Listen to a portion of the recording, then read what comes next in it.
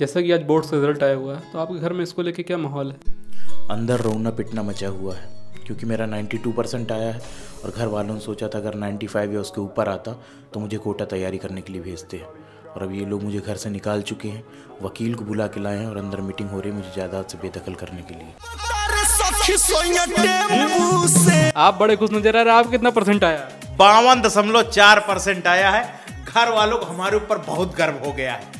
क्योंकि जब हमारी पास होने कोई उम्मीद नहीं थी उसमें हम बावन दशमलव चार लाख उनका नाम रोशन कर दिए हैं। सुबह इस घर वाले दारू पी रहे हैं चार गत्ता कैन खत्म हो चुकी पचई लाने के लिए लौंडे भेजे तो आगे क्या सोचे हैं? कोटा?